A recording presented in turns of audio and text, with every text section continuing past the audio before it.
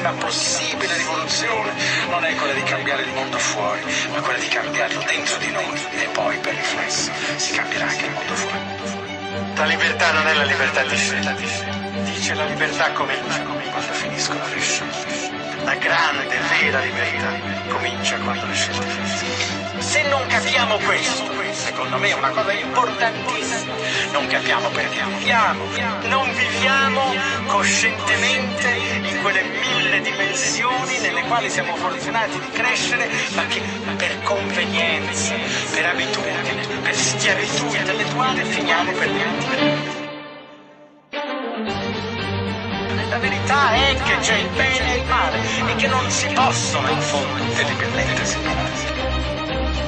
Essere d'accordo che la libertà è qualcosa che ognuno si deve conquistare, come la vetta di una montagna. Soltanto se tu la scali questa montagna e arrivi in cima allora godi di questa tua conquista. L'indifferenza è la più grande malattia del nostro tempo, questo cinismo con cui siamo abituati a crescere, ma non dobbiamo darcene tutta la colpa, è il sistema che ci porta così.